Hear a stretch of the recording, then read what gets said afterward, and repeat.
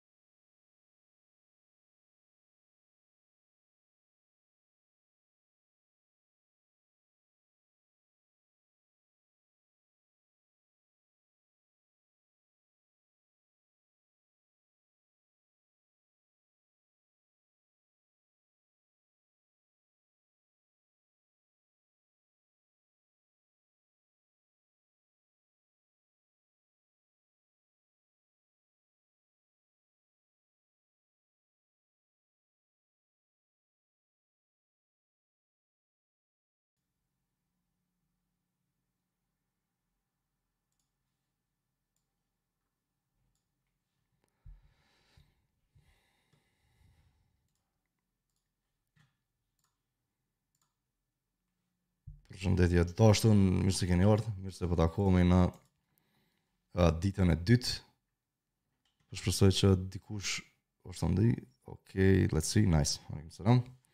Mirë se keni ardhur në ditën e dytë të workshopit të PHP-s. Ndjesë pak për këto 3-4 minuta vonesë në përgatitje për me fillu.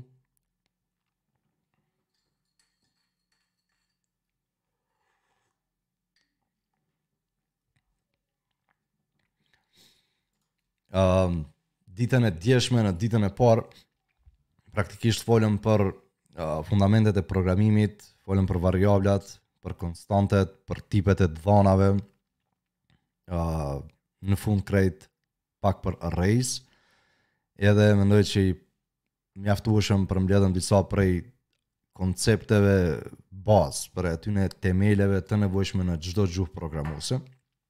Sa me na e dhonë një sens të të kuptumit se çka pritet me pas fusha në të cilën potencialisht doni me u zhyt. Uh, sot do të shkojmë në një nivel tjetër, që është hapi i dytë në rreth uh, fundamentaleve të programimit. T'gjitha këto t'dhona që i kemi pa dje, variablat, uh, duhen me u ardhë, me u jetësu në një farë mënyre, me u përfshi në real life examples, e në disa raste gjatë ekzekutimit të aplikacionit tonë, kemi nevojë me marrë vendime të caktume në sajë të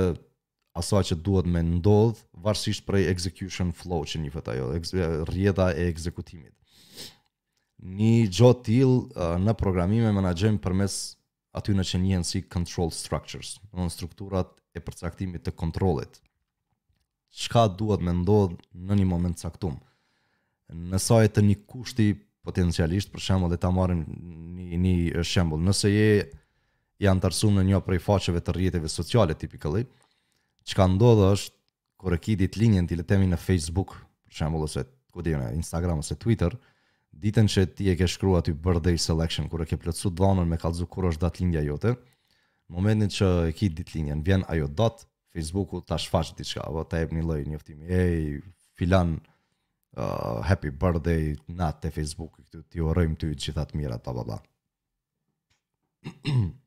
Do të thotë uh, për me bo ni gjë të tillë, neve përdorim struktura të kontrollit për me determinu, me përcaktu, a është data e sotme ditëlindja e filonit, le të themi.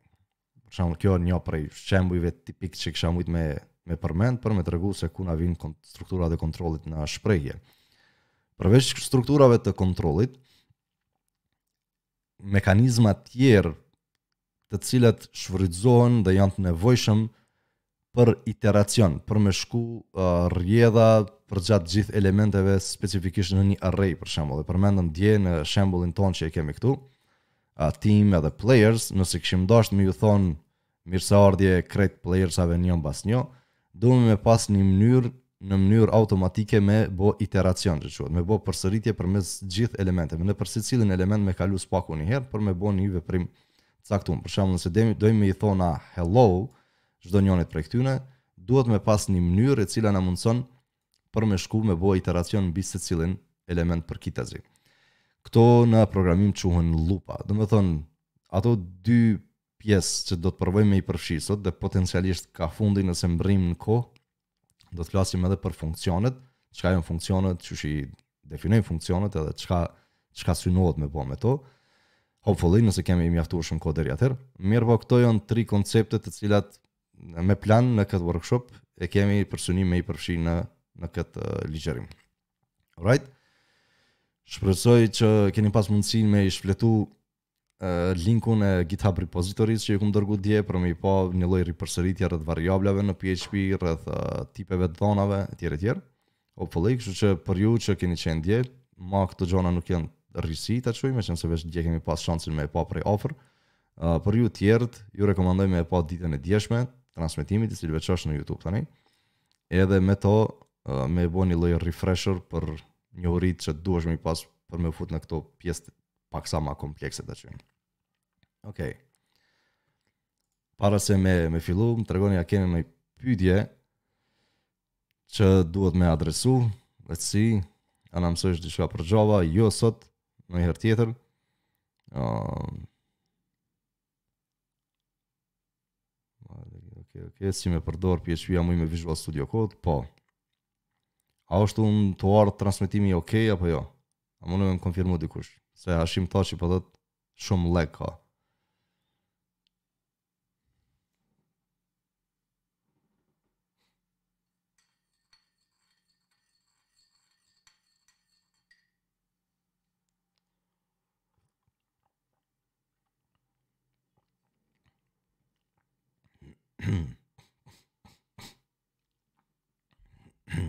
Ok, cool stuff. Atëherë, le të vazhdojmë tutje. Uh, sot do ta marr pak pozicionin ma chill se në kom u lodha dje. Një orë e gjys. Ë, uh, awesome. Atëherë e para që po dojmë me fol sot është strukturat e kontrollit ose conditionals, vendimmarrja në sajë të kushtëzimeve, në sajë të një të vërtete ose të pavërtete që dojmë me me ekzekutu. Uh, mekanizmi kryesor te, domethënë, këto control structures për me nda në saje të seksioneve, për ç'jemi tu folë, mekanizmi kryesor në gjuhët programuse, e ngjashëm edhe në PHP, për me mujtë me determinu ekzekutimin e radhës në saje të një kushti, është if edhe else. Me gjasë i keni ndi këto fjalë, domethënë if-i nëse else-i përndryshe. në if edhe else është metoda qysh neve mund me e marrë një, një vlerë, një vlerë për me e pa vërtetësinë ose ekzistencën e asaj vlere, në mënyrë që pastaj nëse vlera ekziston ose është e vërtetë, është true, atëherë vendosim me ekzekutu bllokun që ka të bëjë me rastin kur vlera është true.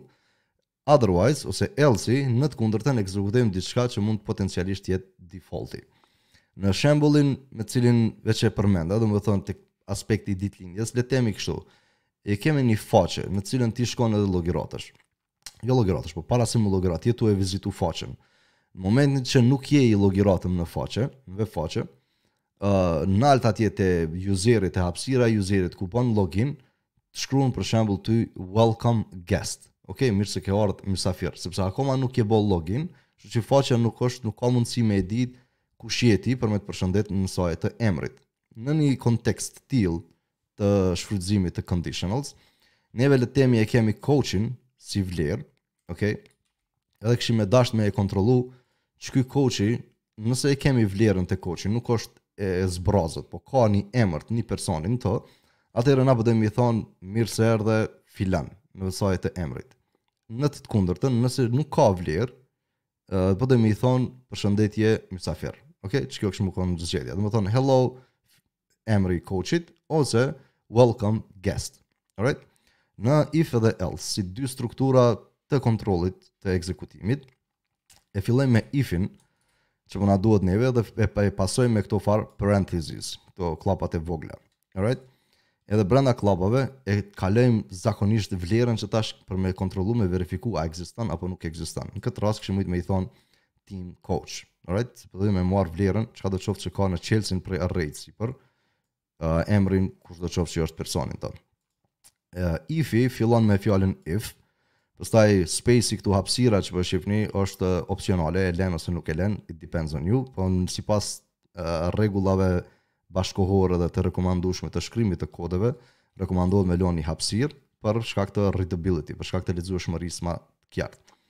Pastaj brenda kllapave këtyne parentheses e vendosim vlerën që ne po dojmë të konfirmojmë. Tash do të shohim edhe çysh konfirmojmë që ekziston vlera, ka mënyra të ndryshme, por kjo është një by default që PHP-ja provon me e pa a është non-empty value kjo të cilën po e kontrollojmë. A ekziston. Masi për mas, mas parentheses,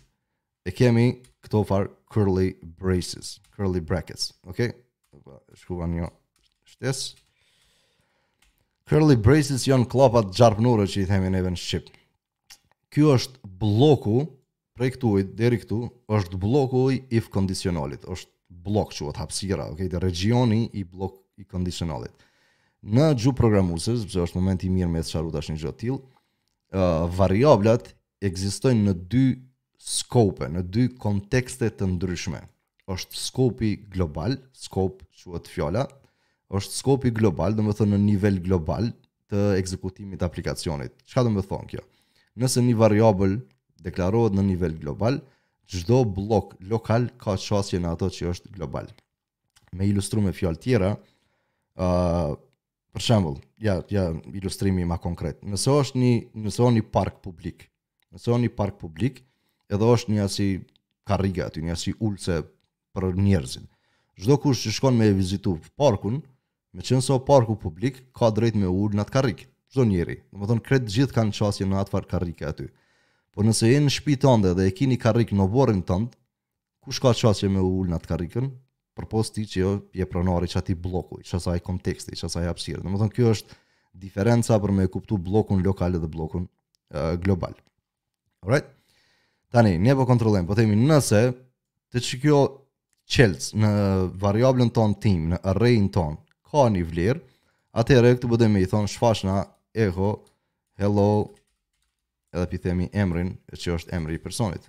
Andaj kemi marrë shto, dje kemi folë për string concatenation, që këto veç e di, është i njëjti shembull sikur këtu, qito po i komentoj tani mos me na u shfaq. Alright, po i themi nëse kemi një vlerë këtu, atëherë thuaj hello edhe merr qat vlerë, të cilën po e marrim. Në të kundërtën, nëse nuk ka vlerë, na megjithatë po dojmë me e përshëndet vizitorin me një përshëndetje gjenerike. Nëse është i llogiratun, ia përmendim emrin se kallxon një little bit of more personal uh, relation. Në të kundërtën, që është else, e qe pjesa e dytë që e pason if else kondicionalën. Atëherë pi themi në të kundërtën, nëse s'ka kurgjo, veç thuj qitu, echo, hell, uh, welcome guest. Okay. Në këtë rast çka kemi bo, po kontrollojmë edhe një herë tash, në if, nëse, po themi, ka një vlerë këtu, shfaqe përshëndete vlerën të cilën veç ka tek pjesa e çelësit të coachit. Otherwise, veç jepe një generic uh, execution. Nëse kisha me hap terminalin tani, Okej. Okay. Qëtu po du me i thonë me ekzekutu qëto, le të shoh ça po na qet. O tungjatjeta Jusufin, duhemi me e ndal diku. There we go. Ok, save, edhe ni herë. Hello, Zylfi Madagaskari. Domethënë, kushti na u plotësu neve si true, sepse Ifi edhe Elsi varen në vlera boolean, në rezultate boolean. Kur kena fol dje për boolean, kemi thonë është një lloj i tipeve të dhënave primitive, i cili pranon veç dy vlera, true ose false. Vetëm këto dy vlera booleanin e karakterizojnë. Prandaj Ifi në të vërtetë po çekiratë a ka vlerë qëtu, nëse është çkado vlere përpos nullit ose empty, atëherë ky po thotë a ja edhe përshëndete qat farë vlere. Do në këtu ka disa delikatesa që janë të rëndësishme me i pas në konsideratë, për të cilat do të flasim tash. Mirëpo në princip ajo që duhemi me kuptu është që Ifi, pjesa e parë e bllokut, kontrollon për vlerë vërtetësie, a ka ekzistencë, për ekzistencia ekzistencë me thonë më mirë. Nëse ekziston një diçka, urdhno edhe shfaqe qato në këtë rast, i themi na, përshëndete, çkado të qoftë që është ajo vlera, nuk e dim, po, po themi, nëse ka vlerë, përshëndete vlerën. Në të kundërtën, nëse kjo kthen false, domethonë nuk paska vlerë, atëherë ekzekutohet me automatizëm blloku else, që është alternativa në këtë rast kur kushti jonë, që i kemi vendos një kusht na këtu, ë uh, dështon, atëherë else është fallback, është pjesa e cila ekzekutohet do do e mos. Okej. Okay. If else është një prej ma bazikeve dhe natyrisht ma të përdorshmeve të kontrolleve të strukturave të kontrollit. Ka edhe disa formate tjera, të cilat do t'i shohim potencialisht sot. Mirëpo kjo është një uh, ma ma elementarja. Alright. Tani, qëtu editori jem, po më ankohet për disa gjona. Sepse, qysh thashë edhe pak ma, na duhemi me qenë 100% të sigurt që një vlerë ekziston. Sepse këtu jemi tu bo një lloj hipoteze. Po themi, veç shif a ka diçka e cila nuk është null, nëse po, atëherë shfaqe. Mirëpo na në princip do të kishim qejf me verifiku që është vlerë e pranueshme. Ok, kushtëzimin mundemi me stërkompleksu sipas preferencës tonë, ose me e lon simple simple thjesht, që veç me një kushtëzim bazik me provu a ka vlerë apo jo. Mirëpo ka mënyra tjera në PHP, përmes funksioneve, përmes language konstruktave tjerë, që mundemi me e konfirmu ekzistencën edhe validitetin e vlerës. A, a është e qartë veç ifi edhe elsi? Domethënë, ifin edhe elsin mendojeni në terrenin e semaforit, le të themi. Qikjo është, është edhe një shembul tjetër që me kontekstualizu përdorshmërinë e kësaj. Je tu shku tu ec rrugës dhe je nal para semaforit. Po më nëjë, s'je nal hala, po je tu e pa semaforin. Cili është if elsi yt në ato momente? Në rastin e parë, ti provon me pa a është drita e gjelbër. Domethënë, kushti është ky? Nëse drita është e gjelbër, atëherë kaloje nëpër vija të bardha. Otherwise, nëse është e kuqe ose e verdhë, portokall e tenton të kuqe, duhesh me u nal. Qiky është raporti i if else-it përgjatë jetës tonë. Në fakt na në çdo ditë lume, Zotit që thojnë, sa kemi ymër bëjmë if else-a, vendimmarrje të tilla edhe rrjedhë të ekzekutimit të ditës tonë, varësisht prej vendim ndodhive që karakterizojnë. Në sajë të këtyre të këtyne kushteve. Ok? Uh, ok, bruda, mos ta degradojmë temën, unazat e mia janë të miat, nëse të pëlqejnë unazat, je i mirëseardhun me më ndjek, nëse nuk të pëlqejnë unazat, je i mirëseardhun mos me më ndjek, veç mundesh me kalu mirë. Mos ma, mos ma banalizo përmbajtjen edhe rëndësinë e kësaj që po flasim këtu, faleminderit. Cool. If else edhe një herë jemi tu fol për uh, vendimmarrjen në ekzekutimin, sikur në ditën tonë. Nëse le të themi në një market ka zbritje, atëherë shkon edhe e merr ti produktin cilin po don me e ble, sepse pas ka zbritje. Nëse nuk ka zbritje, e pret për me ardh Black Friday ose ku di unë ato, ato uh, November, festat e fundvitit e whatever për me ta liru çmimin. Domethonë kësi vendimarrje bëjmë përgjatë jetës Tanë kohën. Cool. If else-i mundet me u stërzgjanu, thashë njona e para tek vendimmarrja, te kushti, çfarë lloj validiteti po dëshirojmë me ia bo na në, në kushtëzimin që po do me ia përcaktu ifit. Në këtë rast e kemi lënë shumë blanko. Mirëpo në PHP kemi dy mënyra tjera për me konfirmu edhe është edhe ma shumë tjera në fakt. Një prej mënyrave është me i thonë if not empty. Ok, ajt po shkojmë me issetin njëherë më së pari. Isseti. Isseti është një funksion i PHP-së i cili thotë nëse këtu në këtë vlerë nuk është null edhe nuk është false, atëherë ekzekutoje bllokun e ifit. E blloku kur thamë edhe një herë fillon prej kësaj kllape deri në këtë kllapë këtu. Domethonë qikjo ekzekutohet veç nëse nuk është false edhe nuk është null në këto dy rrethana. Me isset e marrim veç qet konfirmim. Mirëpo, isseti e ka një jo glitch, po është i ndërtum asisoj, që nëse vlera është veç empty string, e një empty string mundi me deklaru e, empty string po e bëj kështu. Qikjo është një empty string de facto. Nuk kemi kurrfarë vlere këtu, veç thjesht është e inicializume variabla me një vlerë pa vlerë, një farë mënyre me thonë. Nuk ka kurgjo veç është string pa kurrfarë karaktere n'brendësi të vetes. Në këto raste isset-i prap kthen true edhe kushti vazhdon e ekzekutohet. Prandaj nuk është rasti ose nuk është mjeti ndoshta ma i mirë për ne për me e bo një uh, komparacion t'tillë, një krahasim t'tillë që me e validu kushtin ton. Alternativa e saj, e kundërta e kësaj është me përdor konstruktin empty. Domethonë, nëse nuk o, nëse o empty, n'këtë rast po, po uh, çekirojmë, na po kontrollojmë, nëse qikjo vlerë është e zbrazët, atëherë përshëndete. Prandaj nuk është kushti i duhur, mirëpo na mundi me përdor inverzën e kësaj, mundi me përdor negacionin. Negacioni në PHP simbolizohet përmes operatorit Pikëpytje, a pikëçuditëse, pikëçuditëse. Okej. Okay?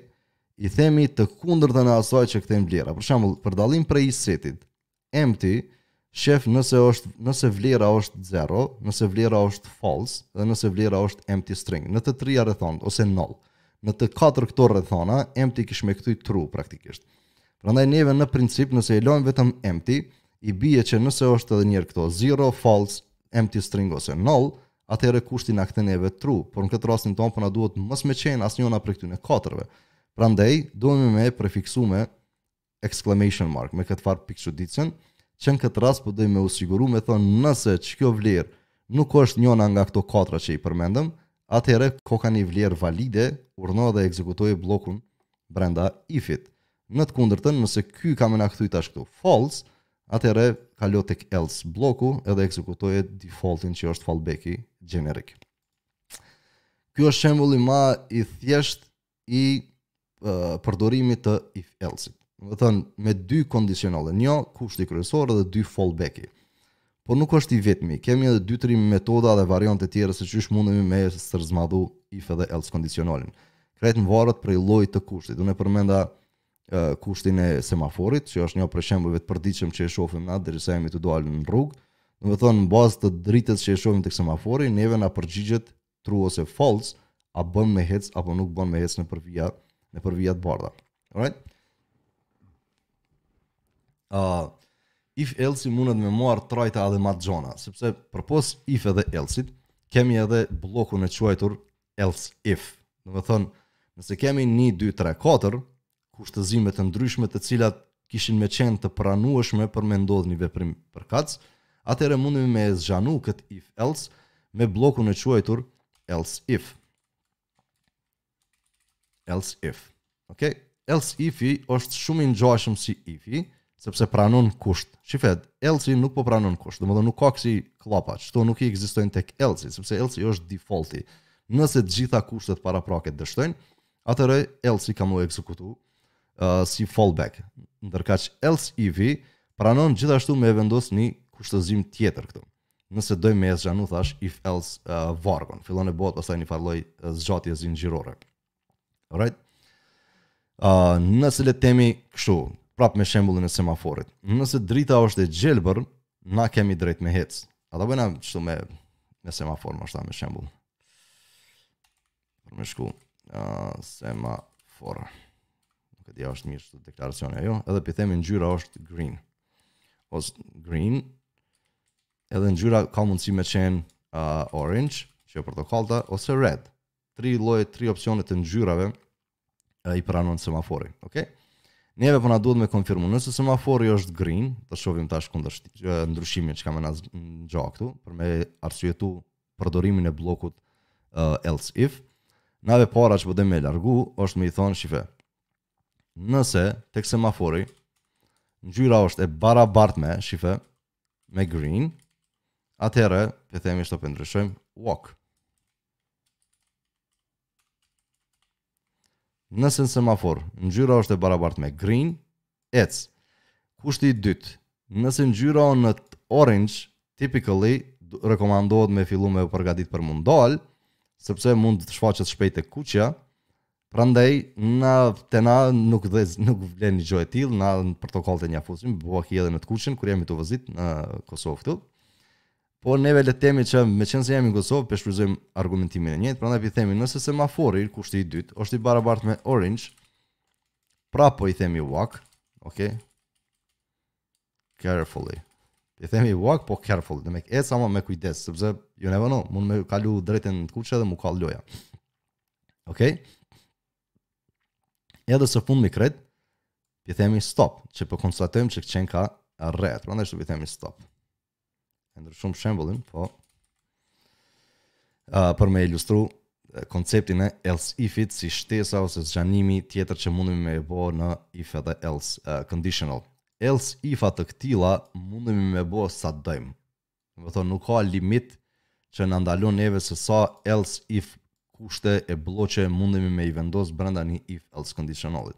Mirëpo, ajo që është e rekomandushme, sipas praktikave ma të mira të punës është që mos me e tejkalu, mos me e kapërsy. Në fakt, nëse fillon edhe të bëhet if else if else vargu yt ma i gjatë se 2-3 sa kaq ndoshta që kemi këtu, ndoshta nënkupton që është koha për me rishiku mënyrën se qysh e ke implementu logjikën, sepse nëse bëhen nja 7-8 varge, Imagjino çfarë po ndodh kjo. Fillon bëhet e e pamenaxhueshme down the road, sepse duhesh me me i pas konsideratë për mirëmbajtje gjatë kohës, pastaj 7-8 kushte të ndryshme.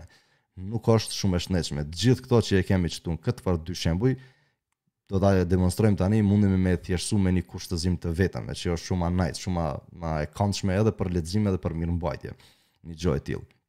Mirëpo, e bonëm qëllimisht, veç për me e pa që if else nuk është vetëm këto dyja, por muj me e përdor edhe else ifin si shtesa e radhës, që na jep mundësi të ndryshme për me evaluu, për me vlerësu kushtëzime të ndryshme gjatë ekzekutimit të flow-it të aplikacionit. Domethënë në një vendimmarrje t'tillë, if, else if, mun me pas prap else if, else if, else if, edhe në fund krejt else, nuk janë obligative, mundemi me qëto të gjitha me i eliminu, për shembull në një rast t'tillë dhe kjo kish me qenë plotësisht valide, jo domosdo duhmi me pas else blok, por varet prej kontekstit se ku po na duhet neve një ekzekutim. A kemi nevojë për else, apo nuk kemi nevoj për else.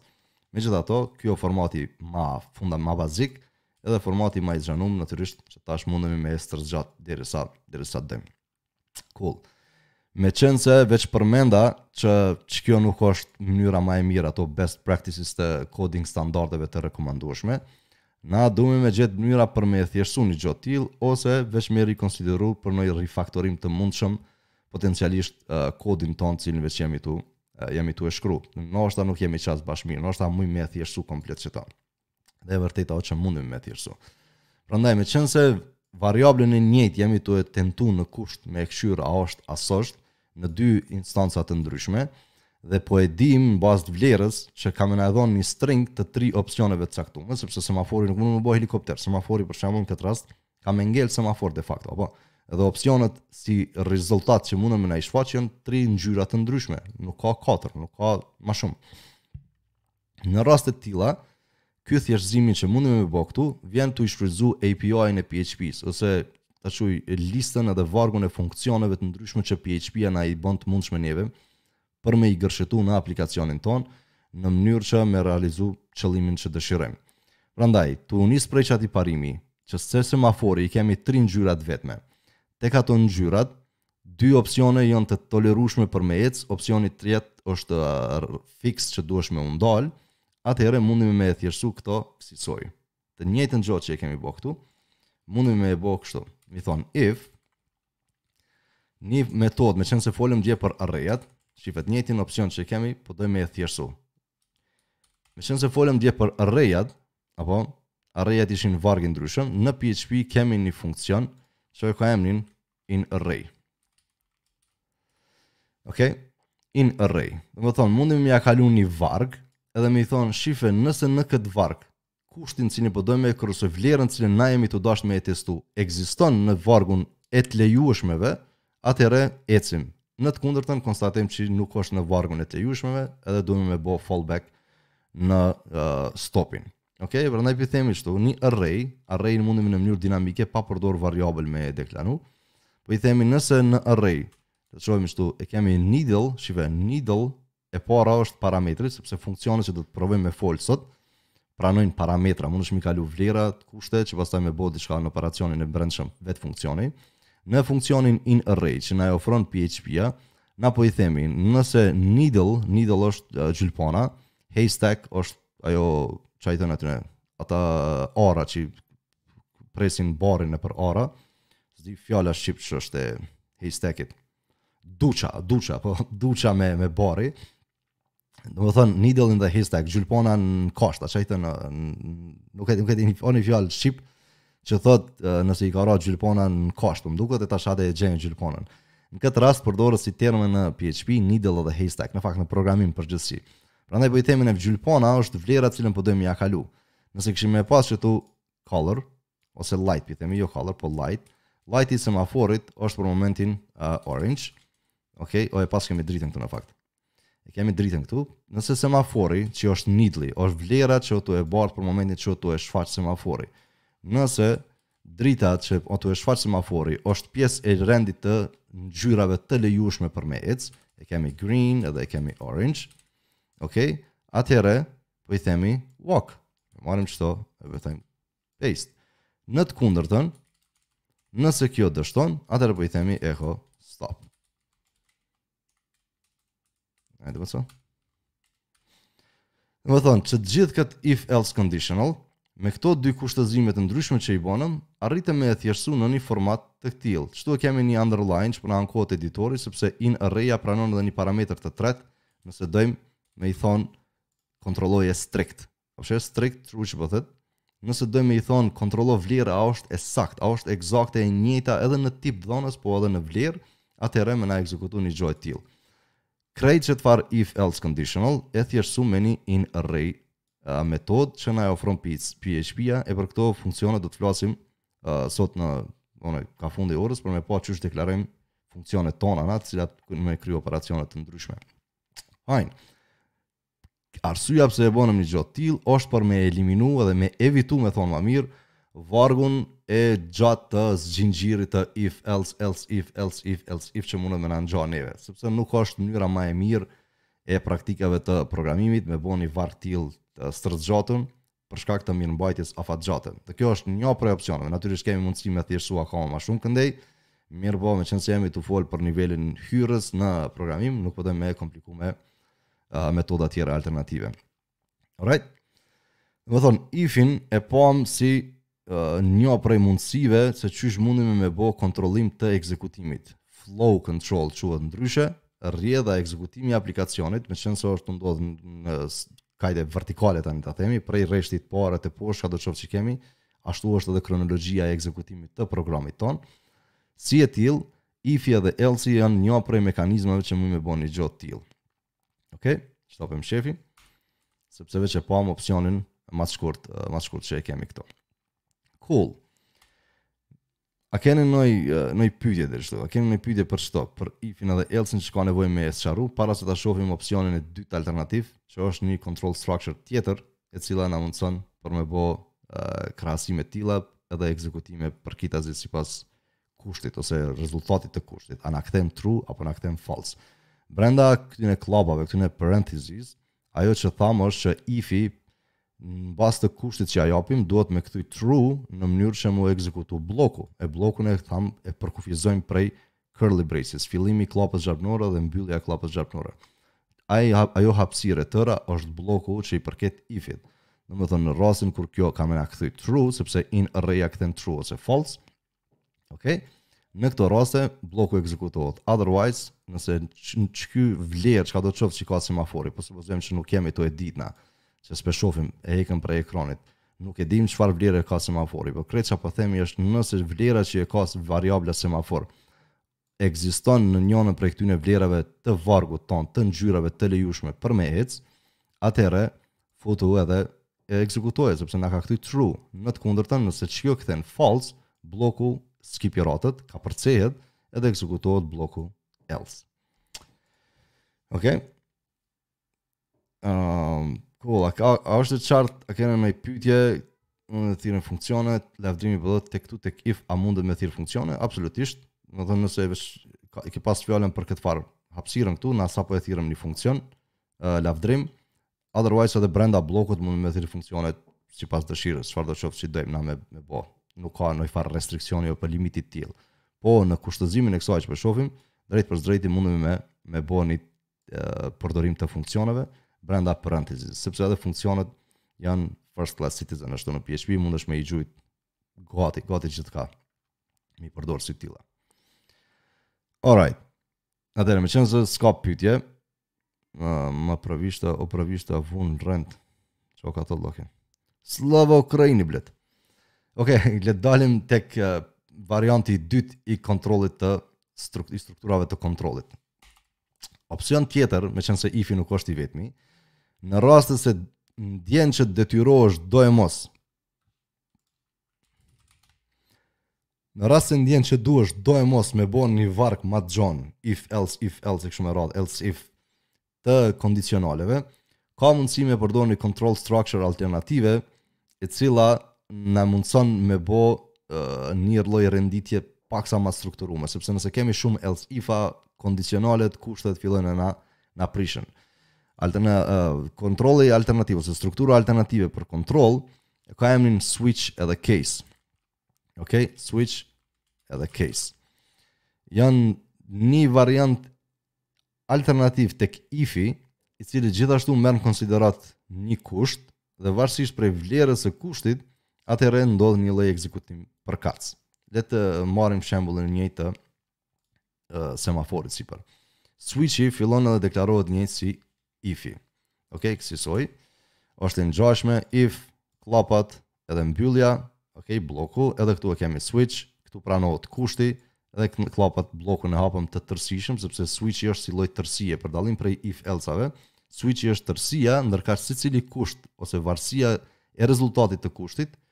vendoset në case. Prandaj quhet edhe switch case. Ça po themi neve këtu? Na po e marrim thjesht vlerën drejtpërdrejt të semaforit. Prandaj duhet kontrollojmë kontrolloje vlerën e semaforit, çfarë drite është tu na dhon në një moment t'caktum kur jemi afër saj, okay? Këtë vlerë për rastin kur kjo kjo kjo kjo vendos me ec, në rastin kur nuk është asnjona prej kushteve tona, atëherë ndalu. Right? Meqenëse llojllojshmëria e vlerave që na lejon për me ecë është më e madhe, dy në këtë rast i kemi green dhe orange, po supozojmë që kemi drejtë me ecë në to, vetëm në red duhemi me u ndal. Atëherë neve po i themi kur është case-i, shifre, është e barabartë me green, e para e punës edhe dy pikë që është vlera me cilën e terminojmë case-in. Nëse o' green, po i themi echo walk. Ok, në qëtë case, Kur semafori vlerën e ka green, ec. Dhe case-at kur nuk ka lidhje njëni case me tjetrin, sepse kemi mundësi me bo varg të case-ave, do t'shofim tani. E bëj edhe një case më shumë e themi orange. Gjithashtu në orange e kemi echo walk. Ok. Tash kemi dy case-a. Nëse semafori është green, ec. Nëse semafori është orange, ec. Cilido prej këtyne që case-ave që kthen true, që kthen vlerën që ok, ngjyra qenka e këtillë, varësisht prej vlerës që ia kemi dhënë na case-it, në këtë rast ia kemi dhënë vlerën manuale, atëherë e bën një ekzekutim t'tillë. Mirëpo, kur kemi diferenca, case-i prej case-it, për shembull sikur orange kish me aludu për me fillu me u ndal, atëherë kemi dallim prej green-it, në ato raste kur dojmë me e dallu njënin case prej tjetrit, duhemi me terminu me break. Kjo është kushti që e lyp uh, case-i. Domethënë, nëse green-i, case-i, ose çkado qoftë që dojmë me ekzekutu na në rastin kur semafori vlerën e ka green, nuk ndërlidhet me ekzekutimin që duhet me ngja kur semafori vlerën e ka red, atëherë duhemi me ndalë me break përkitazi, edhe këtu kishim me shku njëjtën gjo. Dhe switch case alternativa e ka në fund krejt një default fallback që e qujtëm, sikur else-i këtu, Nëse kjo dështon ose jo dështon, po kthen false, atëherë e kishim ekzekutonim else-in si default fallback uh, alternativë. Edhe në switch case alternativë, nëse secila prej këtyne nuk është e vërtetë, domethënë semafori s'qenka as green e as orange, atëherë na po i themi shive, na nuk po dojmë me i përfshi t'gjitha ngjyrat e ndryshme, Por neve po na intereson vetëm këto dyja sepse në ato dyja duhet me ndodhë ekzekutimi, duhet me ndodhë ecja. Çfarëdo ngjyre tjetër që mund me u shfaq në semafor, we don't care, duhemi me u ndalë. Ok, sikur ky të kish me qenë kriteri me cilin i qasemi semaforit, atëherë këtë filtrim e bëjmë n'bazë të opsioneve të negacionit. Domethonë, Kur është lejimi në këto dhe në këto, çkado qoftë gjo tjetër, it's not our business. Na duhemi me u ndal. Në raste të tilla për me simulu else-in që ishte pjesë e if-it te control structures, në switch case statement e kemi një që quhet default. Ok? Defaulti, edhe po i themi break potencialisht këtu, echo stop. Defaulti është kur asnjë prej case-ave paraprake nuk e ka gjet përshtatshmërinë me vlerën të cilën jemi tu e kontrollu na kundrejt së cilës po kontrollojmë, atëherë defaulti ekzekutohet do si do. Nëse case-i veç gjindet, edhe na e kemi siguru që me përfshi break-in, sepse çka ndodh tani, do të flas për diferencën, na e kemi përfshi break-in, semafori e ka ngjyrën green, shfaqet fjala walk, edhe ma break-i e terminon komplet switchin, në atë rast del prej bllokut. Shife blloku ku po fillon në rreshtin 44 dhe 54. Nëse kjo është kushti ka qenë true, shfaqet fjala walk edhe pastaj terminohet i tërë switch kondicion kushti. Domethënë prej këtu dalim prej bllokut, vazhdon ekzekutimi këtu poshtë, çka të qoftë që kemi here. Okay? Qikjo është formati i ekzekutimit të switch case-it, siç thash, është e ngjashme sikur if-i dhe typically kur kishim me e përdorë një gjë të tillë është kur kemi ma shumë raste të ndryshme që dojmë me krahasu. That's the, the value here. Ok? Mirëpo, meqenëse e kemi përsëritjen këtu, echo walk, echo walk, në të dy kushtet, na po kemi drejt për me ecë, mundemi me e thjeshtu ngjajshëm sikur që bonëm trik-a këndej pari. Mundemi me e përfshi in array-n në formatin e njëjtë që kemi bo dhe këtu, me marrë qët kushtëzim edhe me i thonë kontrolloj a e ka në array apo jo, ose atë që unë po du me demonstru këtu, kur dy kushte ekzekutimin e brendshëm brenda vetvetes e kanë të njëjtë ose identik ose të ngjashëm le të themi, sepse ka mundësi që në 90% e ngjashëm ekzekutimi me një diferencë të vogël, atë e, e ndryshojmë ose e menaxhojmë përmes një if-i brenda kësaj, sepse kjo është plotësisht valide me përdor një if këtu, nëse veç jemi kurioz, nëse dojmë me ja ndryshu brenda case-it rrjedhën sa të pak. Prandaj në raste të tilla kur ka ngjashmëri 90% të ekzekutimit brenda njënës dhe tjetrës, që këtu e kemi po e shohim është identik, na mundemi me bo një gjë të tillë në PHP. me e hjek këtë rresht edhe këtë rresht tjetër, me i fshi deri këtu, edhe pastaj çka ndodh në këtë rast, nëse case semafori është green ose është orange, ekzekutoje këta në të dy rastet. Në më të në cilëndo vlerë që mund të ketë variabla për një semafor, neve ka me u ekzekutu blloku i njëjtë brenda, brenda case-it. Alright? Thashë, alternativa e parë është me marrë in array, komplet metodën edhe me vendos në case, Otherwise, mundesh me i pas case-at e ndryshëm nëse janë ma pak, nëse dalin me bo njëqind, po supozojmë se s'bo njëqind, po nëse i ki shtatë tetë case-a, kish mu kon nonsense me fillu case, case, case, case, case prap, tash n'ato raste kur eskalon situata për hir të asaj që quhet maintainability, mundësia ose aftësia e kodit që e ke shkru ti për me qenë i mirëmbajtshëm afatgjatë pa i kriju vështirësi noj programeri tjetër i cili ka mu kyç në projektin e njëjtë, për me bo një readability edhe maintainability ma t'mirë, Rekomandohet mi evitu rastet ku bohet zinxhir i gjatë i switch case-ave ose if else if uh, statements. Alright? Dhe në këtë rast kemi bo situatën e njëjtë. Domethënë dy struktura të ndryshme të kontrollit me të cilat po mundemi me determinu veprimin ose ekzekutimin e rrjedhës së programit tonë, varësisht prej vlerës kundrejt së cilës jemi tu kontrollu, e që në këtë rast e kemi vlerën çka do qoftë në variablën e semaforit, domethënë lloji i ngjyrës që ka me na u shfaq neve në semafor. Um, that's it. Domethënë, këto janë dy kryesoret, të dyja kanë aplikueshmëri edhe përdorshmëri, if-i është ndoshta ma i zakonshëm, switch case-i typically përdoret në një rast kur kemi me bo variable assignment, ksha me thonë, domethënë, po do me determinu një vlerë të një variable varësisht prej kushtit që ia ke shfaq, edhe me përdor variablen ma poshtë, ndoshta që ajo është përdorshmëria ma e arsyeshme e switch case-it sesa if-it, sepse if-i e ka edhe një variant të tretë që tash do ta demonstrojmë, e që quhet uh, ternary operator, me të cilin mundemi me e shkurtu që gjithë këto që po e shohim këtu me e bo në një rresht vetëm. e që e bon të kandshme, është akoma e lexueshme një gjë e tillë, edhe është identik rezultati i njëjtë me të cilin po dojmë me ekzekutu na. Le ta provojmë edhe ato me pa si ternary operator, meqenëse tash është i treti dhe i fundit potencialisht formati uh, sintaksor me të cilin mundemi me determinu vlera ose ekzekutime të caktume gjatë uh, programit tonë. A keni naj, uh, naj pytje këtu? A mundesh me përdor presje ma string switch për me shkru ma shumë apo vetëm në këtë mënyrë?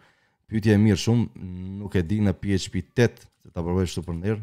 Nuk besoj që ka qenë e lejume në versionet e mahershme. Uh, split into separate case. Jo.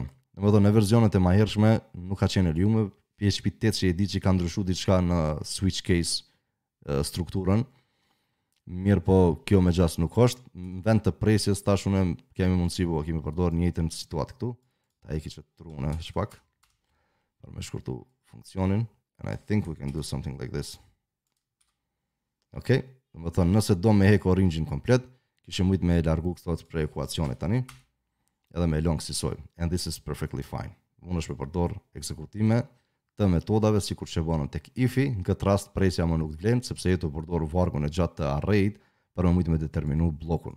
Këto nuk e bona qëllimisht, sepse veç e demonstrum këtu, për arsye se deshta me tregu diferencën që mundemi me i lidh dy, tri kejsa së bashku tu e eliminu breakin prej bllokut, në mënyrë që kjo me vazhdu si lloj ashtu waterfall-i drejt, prej kësaj, prej kësaj, domethënë, nëse kjo tru ekzekuto këto, nëse kjo tru ekzekuto këto.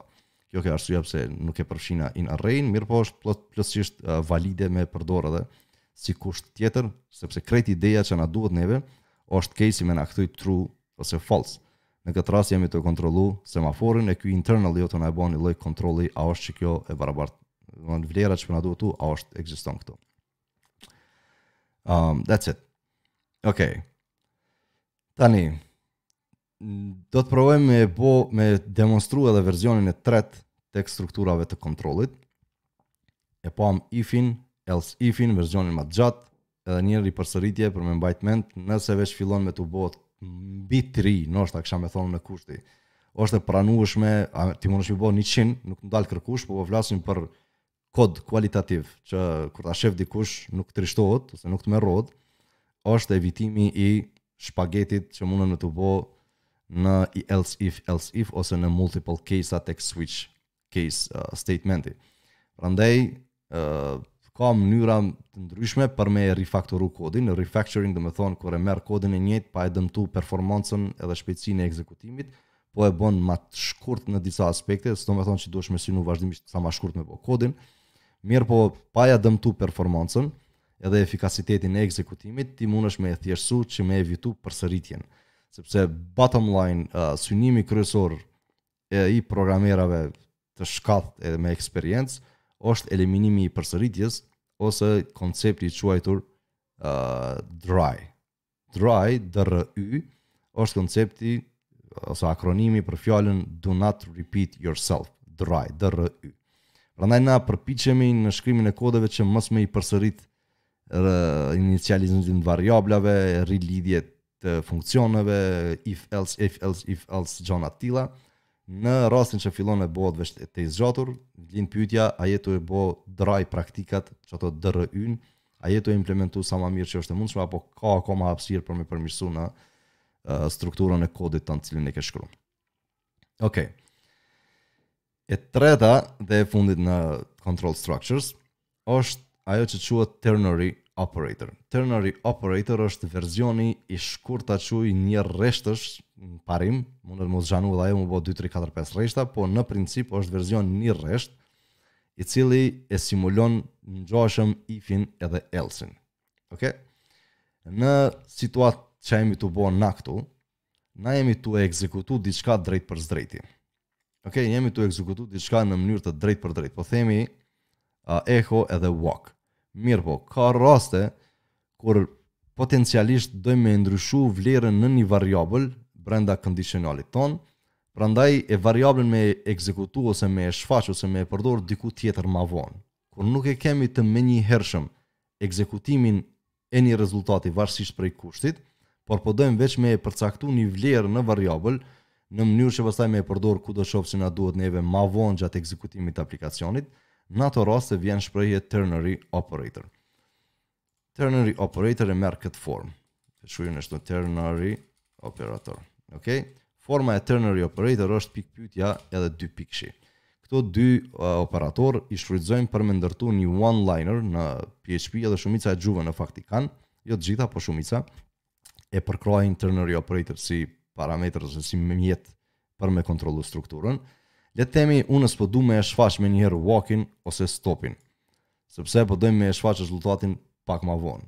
Në ato raste, çka kisha me po, qysh kisha mujtë me e rujt vlerën, varsisht prej kushtit, jau boj pytje juve tani, varsisht prej kushtit, a o true ose false, qysh kisha mujtë me e rujt qët vlerë diqysh, në mënyrë që pastaj me e përdor e me e shfaqë diku tjetër ma vonë.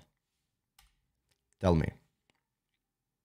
Dje kena fol për qysh i rujmë vlerat, qysh kisha mujt me e rujt diku, një lloj me pas, për te lloji i mesazhit të cilin po du me e shfaq unë, por ato me e shfaq diku tjetër ma vonë ku e kemi për shembull shtu poshtë. Nuk po du menjëherë me thonë eho, mu eho po më duhet në rreshtin 58. Çka mund me përdor unë në mënyrë që me bo qat ehon diku diku krejt tjetër ma vonë.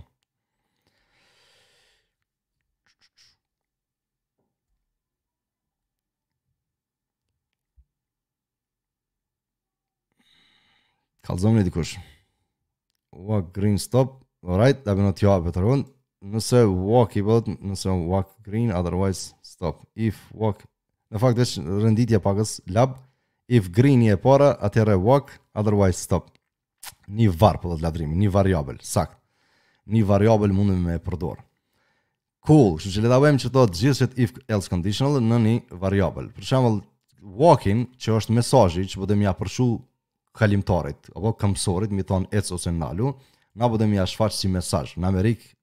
Ato nuk e kanë me këto me drita, e kanë me walk ose stop.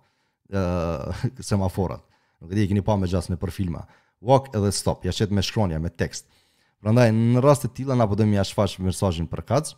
Atëherë qet mesazh kishim me e rujt në një në një variabël. Alright, po e thom, me shtu një variabël, s'pari, message, edhe po e inicializoj si string të zbrazët, nuk po e vendosi një vlerë në string. Dhe tani, variablen një herë deklarum dhe inicializum, tani mundi me i thonë, ruje vlerën e njëjtë disa herë, varësisht prej kushtit të njërit. Po i them, mesazhi, në rast kur semafori është green ose orange, mesazhi ka me qenë, Walk. Otherwise, mesazhi ka me qenë stop. Ok? E bonëm një variabël të cilën tani nuk po e shfaqim menjëherë, në këtë rast nuk ka me dalë kurgjo në ekran, mirëpo ka me na u shfaq neve diku qashtu ma vonë, po i themi echo message. Ok? Këtu e, e përcaktum vlerën, ia dhamë vlerën sipas rrethanës të ekzekutimit, dhe krejt qetu poshtë po e shfaqim. këtë rast kur kemi një përdorim të tillë, që po dojmë për një rresht ose dy me bo një ekzekutim të caktum, sidomos një rresht, sikur në këtë shembullin tonë, kish me kon paksa nonsense edhe e teprume me përdor pesë rreshta për me përcaktu një vlerë. Qëllimisht e bona këtë ndryshim brenda ifit. Por kur kemi kësi formati t'gjatë kështu, pesë rreshta shife 39 43, pesë rreshta për me përcaktu vlerën e mesazhit varësisht prej kushtit. Në këtë rast mundemi me e thjeshtu me ternary operator. Qysh e bëjmë me ternary operator? I themi message barabartë me çka po dojmë me kontrollu, kushti është qeky i pari. Kështu po marrim krejt këto, edhe po i themi, nëse shife nëse ja ku më erdhi pikëpyetja këtu mu. Okej? Nëse qeky kusht, çka do të qoftë që kemi shkru na, në këtë rast po kontrollojmë vlerën e semaforit, a është pjesë e, e vargut të ngjyrave të ndryshme. Nëse kushti është true, atëherë mesazhit jepja vlerën çka walk. Otherwise, dy pikshin, ju përmenda, pikëpyetje, dy pikshin, dy pjesë, qekjo dy pikshin këtë rast e ternary operator është realisht blloku i else-it, otherwise e kemi stop. Dhe krejt qet if 5 rreshtash e ka përçu në një rresht të vetëm, e që është ma i lezetshëm, sa i përket synit e organizimit, nuk i kemi 5 vija, 5 lines of code, për diçka që kemi mundësi me e modifiku dhe me e realizu me një line of code. Në rastet e tilla, kur kemi të bojmë me value assignment që quhet, jemi tu i dhonë vlerë një variablës, Në raste të tilla, rekomandimi ose mënyra ma e lezetshme, ma e preferushme për me bo value assignment është me përdor ternary operator një rresht se sa pesë rreshta. Po mendoj mundi me e pa një krahasim të tillë edhe ju, edhe me thonë, oj, normalisht s'ka diskutim, do të qekjo koka shumë ma, uh, ma sweet and stuff. Okej. Okay. Uh, E po më thonë krahasimin, besoj që sa i përket preferencës me gjasë, kështu jeni edhe ju, dakord që kjo është shumë ma sweet and, and nifty për me menaxhu një value assignment të cilën kemi me përdorë që thashë edhe parza diku down the road me një moment ma vonë, jo drejtpërdrejti në uh, kohën kur po dojmë me përcaktu edhe vlerën. Um, unë e përdor ashtu një inicializim, ose ta quaj parainicializim me, me string me empty string të variablës. Në rastet kur kemi uh, jemi të sigurt, me thonë ma mirë, që ka me pas një vlerë variabla, nuk kemi nevojë me bo pre initialization. Qëto mundemi me eliminu plotësisht, sepse jemi të bindun që nëse jo kjo, së paku kjo, njona prej tyne ka me ngja. Kur kemi situata t'tilla, nuk kemi nevojë me bo parainicializim të variablës. Nëse nuk jemi të sigurt që ka me ndodhë njona prej këtyne dyjave, atëherë këtu duhesh me dhënë një default value. Në rast për shembull sikur s'kishim me e pas else-in hiç, atëherë kishim me dhënë alternativën tjetër. Ju thashë parza që else është opsional, nuk është i domosdoshëm. Prandaj përsëri do shku drejt thjeshtësimit të gjonave. If-in edhe else-in si blok tërësishëm mundemi me e thjeshtësu në një format këtillë. Shifë, veç kallon tu u bo ma sweet. krejt qët stopin, meqenëse është default vlera, domethonë, vetëm në rast se kushti është true, ka me ndodh ecja, në të kundërtën, kemi me u konë tanë kohën nalu, mos lëviz, mos ec, prandaj na mundemi me e marrë stopin, edhe me e vendos si vlerë të variablës message, edhe në këtë rast, mundemi me eliminu prej kodit tonë else-in. Dhe tani çka bonëm? E thjeshtësum akoma ma shumë edhe if else if else, uh, bllokin. Domethonë else-i është alternativa si default. Në rast se jemi tu, po e kemi një default tana kohët, mundemi me preinicializu variablën message, e cila tani ndryshon veç në rast se qiky kusht është i vërtetë. Në të kundërtën, nëse kushti është false, blloku injorohet i tërësishëm, edhe neve kemë me pas vlerën çka do qoftë që ka qenë default vlera. Veç ju dhash këto ilustrime për me i pa mënyrat e ndryshme të përdorimit të conditionals, ndoshta paksa ngarkesë për fillim, po meqenëse video ka me qenë në Youtube, keni mundësi me shku me e ripërsërit dhe me e pa sa herë doni. Prandaj poenta është që e thjeshtësum në formate të ndryshme prej një if else if bloku ose prej një switch case-it, arritëm me pa thjeshtëzime të matutjeshme që mundemi me ja bo kushtëzimit. Unë jam jashtëzakonisht dashamir i qëtij formati për shembull, asnjëkund në rresht tem, po unë nëse ka mundësi në kodet që i shkruaj unë, uh, me eliminu Elsin në tërsi, bon person i lumtur me automatizëm. Prandaj sa më shumë që shkruj kod, ta ka n'kokë, e kam atë farë dritën edhe në kokë që ej, kqyr, s'ki nevojë ndoshta për else, këtu s'ki nevojë për else sepse mundesh me bo një një qasje të tillë. Kjo është ajo uh, defaulti për cilin jam i sigurt që ka me ndodh edhe ndryshon vlera veç nëse kushti na e na jep tru një gjë të tillë. Ok. If else, else if, ternary operator mënyra ma e shkurt, edhe switch case në rast se kur kemi multiple case-a të ndryshëm, këto janë tri mënyra të kontrollit, të strukturave të kontrollit përmes të cilave përcaktojmë ose rrjedhën e ekzekutimit të programit tonë, ose e caktojmë një vlerë në variabël, varsisht prej kushtit me cilin po dojmë me e përcaktu edhe atë vlerë. Domethënë kushti është ajo që po dojmë me e marrë vesh në real time, dinamik, në të kundërtën e kemi fallbackin, si një lloj defaulti në cilin ashtu kështu në çfarëdo rrethane ka me qenë aty, veç mund me ndryshu potencialisht nëse kushti e determinon një gjo të tillë. Me e kontekstualizu në real life, kur të futesh të bon login n'Facebook ti, ditlindja jote nuk është përditë, Ditëlindja jote o në një datë vetëm le të themi kushtimisht gjatë vitit, jo kushtimisht po e vërtet. Edhe në atë ditë specifike, çdo herë që ti ki me bo login në Facebook, Facebook e kontrollon qiky filani që sapo uh, u bë login këtu, a e ka datëlindjen me datën e sotme që u kyç apo jo. Nëse qat ditë i del po, që është true, atëherë Facebook thotë ej filan we at Facebook are celebrating your birthday këtu edhe you feel like you're a rock star. Anena. Cool. Uh, kjo ke, domethënë, tri mënyra qysh variablat tani na vijnë e na e shohim që janë pjesë esenciale e programit tonë, sepse po e përdorim gjithandej variablin ose vlerën që gjendet në atë variabl me thonë ashtu ma mirë. Uh, gjatë ekzekutimit të flowit, këtu po shfaqim, këtu po bëjmë value assignment, mos harroni e përmendëm prej djeshit që barazimi si parametër i vetëm, si operator i vetëm, nuk është barazim i klasik i matematikës, por është assignment operator quhet, që operatori që i cakton i cakton vlerë. Çfarëdo qoftë që në anën e djathtë i vendoset si vlerë variablës në anën e në anën e majtë. Um, cool stuff. Okej. Okay. Uh, keni ndonjë pytje, para se të bëjmë një 3-4 minuta pauzë, edhe pastaj kthehemi me i pa llupat e kontrollit, me gjasë për funksione nuk do të mundemi me u futë sot, uh, potencialisht mund ta zgjasim edhe nesër nëse keni entuziasm edhe interesim për me viju, e nesër të fokusohemi në funksione për me e përmbyll këtë workshop, Mendova që ka me provu me përfshi sa ma shumë uh, brenda këtyne dy ditve, po dul që s'koka bash e lehtë. A keni noj, uh, noj pytje për mu? Ose për, jo për mu, po për këto që i demonstrum.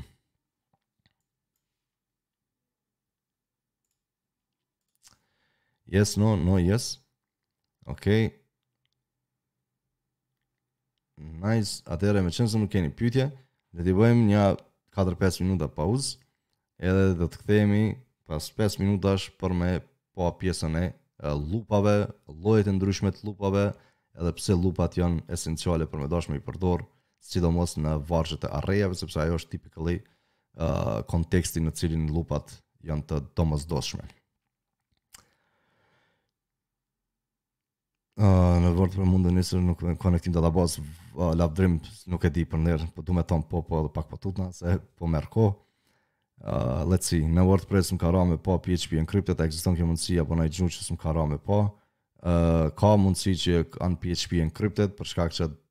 programerët të cilët e kanë shkru atë kod nuk dojnë me ia vjedhë ti ashiqare, kjo është e vërtet. Në disa raste encryptioni është shumë i thjeshtë, me është me base 64, në raste tjera mund të jetë ma kompleks, e që pastaj duhesh me pa çfarë algoritmi ka përdorë për me bo atë enkriptim, në mënyrë që me tentu me bo reverse engineering, Uh, otherwise kjo është e mundshme, do me thënë kur është kodi i enkriptuar në PHP, çka ndodh është në momentin që i vjen asaj blloku të kodit për me u fut në ekzekutim, uh, developeri e ka shkru një funksion tjetër i cili e bën qat far dekriptim, edhe mastaj e ekzekuton PHP-in të plot, sepse PHP-ja kodin e enkriptuar nuk është e aftë me ekzekutu. Mirëpo çka ndodh në real time, është kur je tu lexu projekti, u lexu uh, softveri, uh, dekriptimi ndodh on the fly edhe pastaj ekzekutohet PHP-ja e plot. Që kjo është çka çka ngjet mbrapa aty. E di që ka kode të tilla, kam pa edhe vet plot.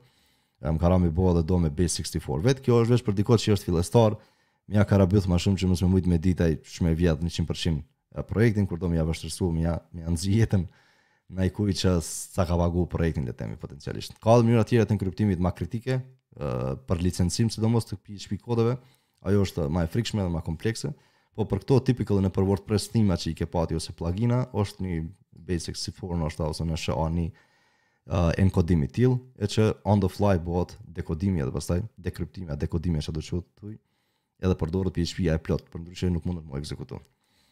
All right people, le të kthehemi për një 4-5 minuta, edhe hang in there, do të flasim edhe për lupat,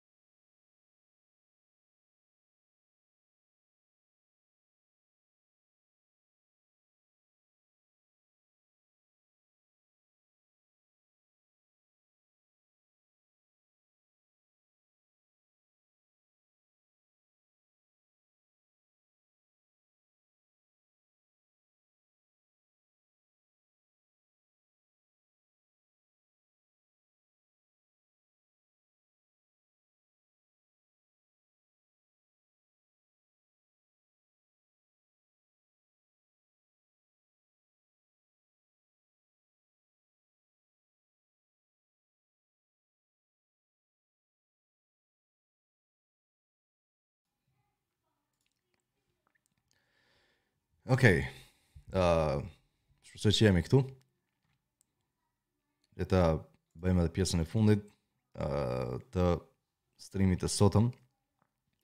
Lavdrimi po thotë edhe dje ka pyet edhe për sot, me gjasë është shumë kurioz sa i përket konektimit me databaz. Lavdrim le të provojmë nesër, masi po dojmë me zgjatë edhe njerë, për ju që jeni këtu. Uh, le të provojmë nesër, nëse e bëjmë çfarë ditë është nesër, veç ta shohim vitin kalendarik. Okej. E enjte, po po po reskiratim, po reskiratim edhe edhe nesër. Le të provojmë me u fokusu në funksione dhe pjesa e fundit tek konektimin databazës, le ta përfshijmë edhe qato. Hajde, po dalim për hir të mëmëdheut Pellazgistan, le të provojmë me bo një gjë tillë edhe një ditë shtesë në këtë workshop. Ok? Cool. Uh, i pamë control structures edhe mënyrat e ndryshme që mundemi me thjeshtësu. Ajo që na ka mbet që e fundit krejt është llupa. Okej. Okay. Ai hanë ai ne. Ëh, okej, okay, vërtet, mirëpo, do me me, me bo aktivitete tjera.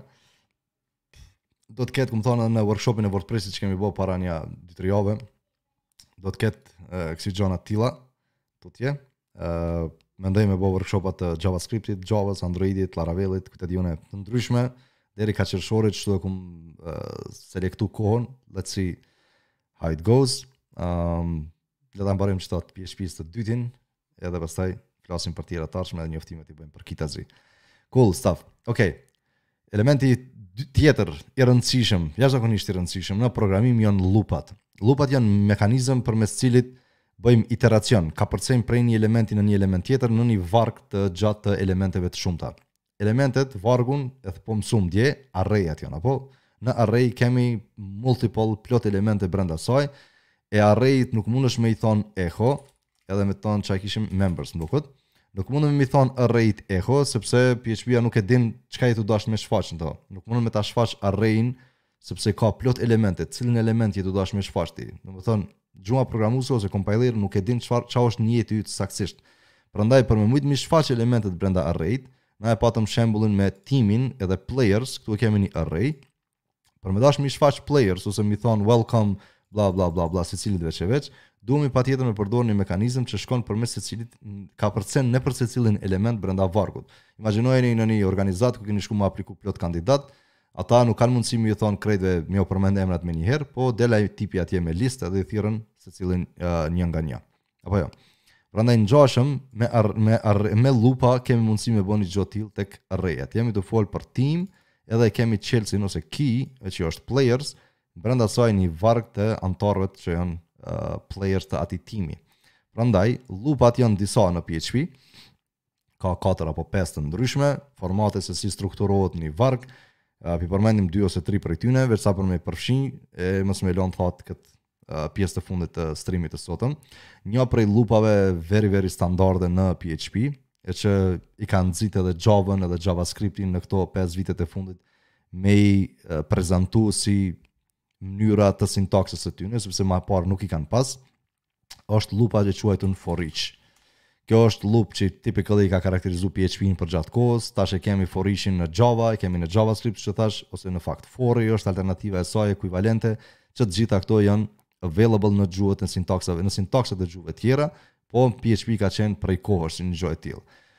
Për me dashtë me bo iteracion përmes secilit element, na duhemi me marrë vargun edhe me i thonë pointerit, sepse internally do të ndodhë një veprim atje, po e merr indeksin nga një element në element tjetër do të kapërcejë një nga një. Sikur ai tipi që e përmenda shembullin tek organizata me letër, del edhe një nga një në varg i thirr emrat e kandidatëve që janë, ngjashëm edhe na kemi thonë nëse te teami në Chelsea Players, për sa të ka players brenda qëtij qësaj array, ok?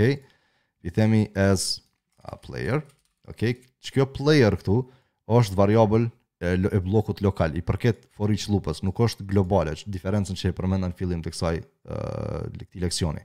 Domethonë, variabla globale është message, sepse po i qasemi jashtë, jashta blloqeve të curly braces. Ndërkaq player në këtë rast e kemi variabel që i përket for each-it, Edhe çkado qoftë që inicializohet brenda këtyne kllapave, gjithashtu është variabël i bllokut lokal. Prandaj po i themi na, për çdo player që është brenda vargut, mundemi me i thonë qëtu echo, hello, edhe emrin e playerit. Player. Ok? Qëkjo është një prej mënyrave ma t'thjeshta, ma standarde në PHP, qysh bëjmë iteracion, we iterate, over all the elements, mbi të gjithë elementet që janë pjesë e vargut. Okay? E inicializum një variabël lokale brenda bllokut for each dhe po i themi, përderisa të ka player, për çdo lojtar që ekziston brenda vargut të lojtarëve, shfaqi dhe thuj mirë se keni ardhur o lojtar. Ok? Kjo mënyra më e thjeshtë. Ka lupa të tjera, do të shohim edhe një prej tjerave ndoshta, meqenëse po afrohemi drejt kohës së fundit të streamit, por kjo është një prej mënyrave më më të thjeshta se qysh mundemi me bë iteracion me një for each loop në PHP. Një gjë tjetër që po du me demonstru. Ne folëm dje dhe sot e pam string concatenation, domethonë bashkangjitja e stringave. Ju thash që stringat në PHP mundemi në dy formate me i me i bo, një me single quotes edhe një me double quotes, apo jo, me double quotesin, thash une nuk e preferoj në parim, kur stringu nuk ka kurgjë tjetër përpos se veç është string, veç është tekst, plain tekst, nuk ka gjë tjetër. Double quotes i vjen shprehje kur dojmë me e marrë me i dhonë tretman special. Tash ta shofim diferencën. Qët rresht po e shofim kështu, në PHP mundemi me eliminu këtë farë pikën, që mos me bo concatenation të kësaj natyre, por me e shkru si echo, Shife tash po shkoj me double quotes, edhe po i thom hello. Edhe po e futim player brenda uh, stringut. Shifne diferencën? Domethonë e eliminum çet pjesë. E bonëm veç double quotes, diferenca që po e jopim, edhe e futëm variablën brenda stringut. Në momentin që në PHP përdorim double quotes, kompajlerit i japim instruksion me thonë shife se potencialisht brenda stringut mund të ketë variabla, nxjerre ti vlerën prej variablës. Mos ma shfaq variablën, po nxjerre vlerën që e bartë ajo variabla. Të njëjtën nëse kisha me bo me single quote, kish me u prezantu thjesht si tekst bazik, çtu tani kish me na shfaq neve, le ta shohim diferencën tani në fakt. Mbyllim çto, çto, sa për me e demonstru. Edhe çtu ça kemi if else nuk kemi echo nice. Tash jemi tu bo iteracion edhe një herë për çdo lojtar që është anëtar i ekipit, shfaqe tungjatjeta filan. Ja tani po bëjmë diferencën. Ok, që shumë do të hello player, hello player, hello player. Pse? Sepse kemi përdor single quotes. Nëse i thom unë double quotes, ok, shifne tani, Hello Enes, hello Jackie, hello Metin, hello Jusuf. Alright? Dallimi mes double quotes dhe single quotes në PHP. Në momentin që e, e përcaktojmë një string me double quotes, kompajlerit i çohet sinjal me këqyrë mos potencialisht ka noj variabël të cilës duhet m'ja nxjerrë vlerën se çfarë vlerë është tu bartë në momentin e caktum. Kjo është dallimi mes njënës dhe, dhe tjetrës. Edhe një përmirësim tjetër, që në këna e unë gjithë këtu, Enesi, Hello, Jackie, Hello, nuk është mënyra ma e bukur, kemi mundësi me e printu në rëdu, do duhej idealisht me printu në reshtin e ri secilin, sepse jemi tu i trajtu secilin lojtar veç e veç. Ka disa mënyra që mundmi me bo një gjo të tillë në PHP, njëna prej mënyrave është me i thonë një pikë çtu në fund dhe me i thonë PHP EOL, e që është end of line, shkurtesa, end of line, me sinjalizu fundin e skriptës. Kur ekzekutojmë skriptat e PHP-së në terminal, në command line, end of line-i reprezentohet me një, shife, kur e bona me hover sipër, a po shifni shenjën edhe njëherë, e ka çet farë uh, forward slash edhe n. Forward slash-i edhe n në Unix sisteme operative nënkupton një new line character. Nëse i thom në echo, tani na dolën secili në rreshtin e ri. E përmirësum çet farë miksi që krejt ishin të gjitha të bashkume, tani e kemi Hello Enes, Hello Jackie, Hello Metin, e kështu me radhë. Domethonë me PHP EOL ose varianti i ngjashëm është me i thonë çtu n-në brenda. Njëjtë, sikur e përdorim këto, sikur e përdorim çtu nën, është e njëjta gjo.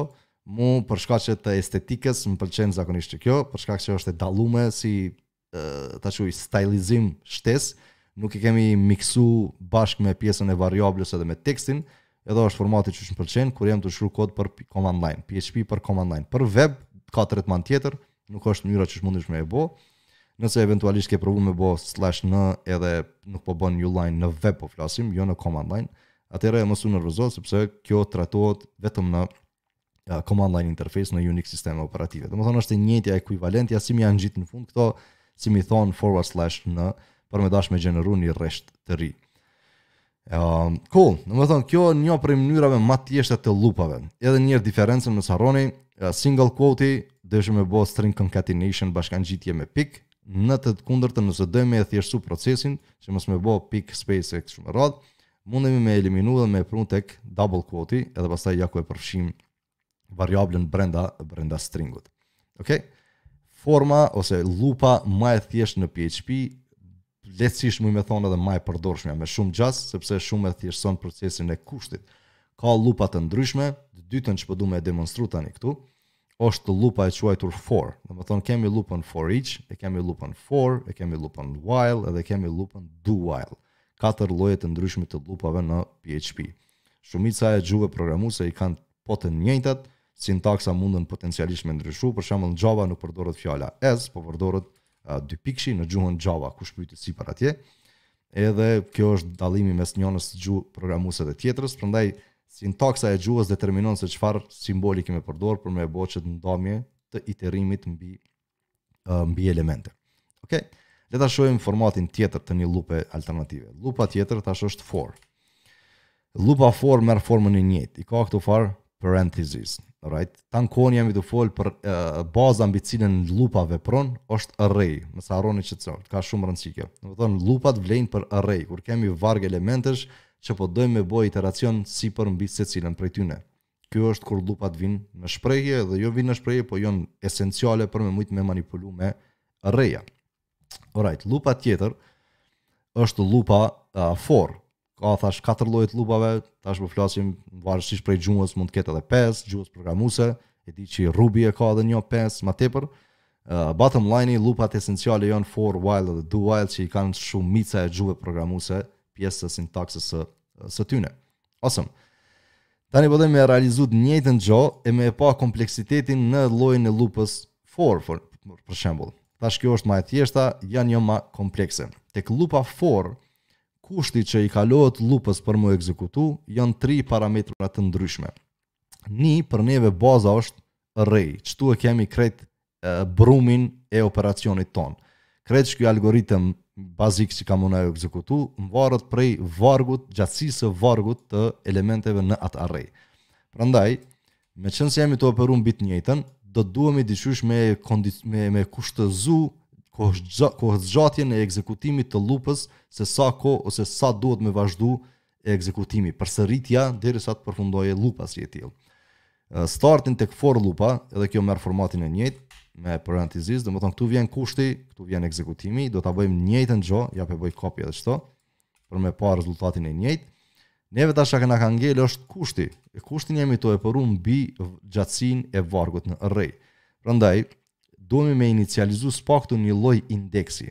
Qa është indeksi? Indeksi është një pointer, një një shenjë, një shënjim i brendshëm, internal logjik. Tek for llup, tek foreach llupa, PHP-ja po na e kryen shërbimin e indeksimit. Nuk kemi nevojë na me mbajt në mend se në cilin element e kemi kalu e cili na ka ngel pa kalu. Kto po na e kryen në mënyrë automagjike PHP-ja në prapaskenë. Nëse kishim e përdor llupën for, që është tash paksa ma komplekse se sa foreach-i, atëherë na përgjegjësia na bjen neve për me e rujt shenjën, me ditë cilit ja kena përmend emnin,, cilit s'ja kena përmend emrin. Okej? Qikjo është dallimi mes foreach llupës edhe llupave tjera typically. Indeksin, pointerin duhemi na me e shënju në mënyrë që mu siguru që nuk e kena lonë asnjërin pa i thonë mirë se ke ardhur ose hello ose whatever. Alright? Prandaj, në for llup duhemi me inicializu qatë mënyrë të mbajtjes mend të pointerit. Atë e bëjmë tu e deklaru një variabel lokale që zakonisht përdoret germa i, për shkak që i index shkurtesa mundesh me përdor whatever a ose çado qoftë, po konventat e programerave, domethënë kur bëhet një shprehi e përsëritshme disa herë Bohet një lloj standardi de facto që i inkurajon të gjithë me e përdorë emërtimin, mënyrën e emërtimit të njëjtë, në mënyrë që nëse ti ke përdorë për shembull fjalën a, unë e di që potencialisht e ke fjalën për indeks, po pak ma ke bo konfuze pse e ke zgjedhë shkronjën a kur krejt dynjaja, le të themi, e përdorin shkronjën i. A po kuptoni? Në këtë kemi të bëjmë me konventat e programimit që komuniteti dakordohet se qeshtu është mënyra që duhemi me me i shënju disa uh, elemente kontekstuale gjatë shkrimit të kodit tonë. Prandaj unë do ta përdori i-në, dhe i-në duhemi me inicializu me një vlerë. Shiqe tash ku vjen the interesting part, ku pjesa interesante e llupave ma komplekse.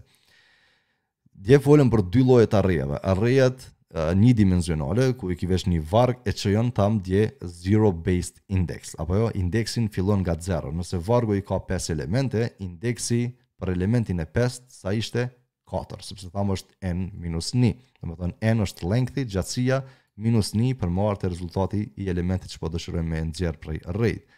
Në këtë rast, meqenëse jemi tu kalu një varg të arrayave që është gjithashtu njëdimensional, rendi i emrave të playersave, edhe arrayat janë zero-based index, prandaj indeksin që me cilin na kemi me mbajt mend se ku është pointeri, cilin person e kemi përmend dhe cilët na kanë met pa u përmend, atëherë indeksin e inicializojmë me zero, sepse kjo është mënyra që kemi me iu qas secilit një nga një prej fillimit. Apo? Fine, indeksin po e inicializojmë me zero, sepse array është zero based index, bukur. Dhe tani, sa do të duhej me zgjat ekzekutimi, sa herë do të duhej me u përsërit llupa, për me i përfshi të gjitha emrat e njerëzve që janë pjesë e listës së lojtarëve. Kjo po ju bëj pytje juve. Sa herë do të duhej me u përsërit llupa, për me mujtë me i përfshi të gjithë uh, emrat e lojtarëve që janë brenda arrayt. A ma jep dikush përgjigjen. Veç, jo qysh me shkru, po sa herë do të duhe me u përsërit. A ka njerëz gjallë këtu?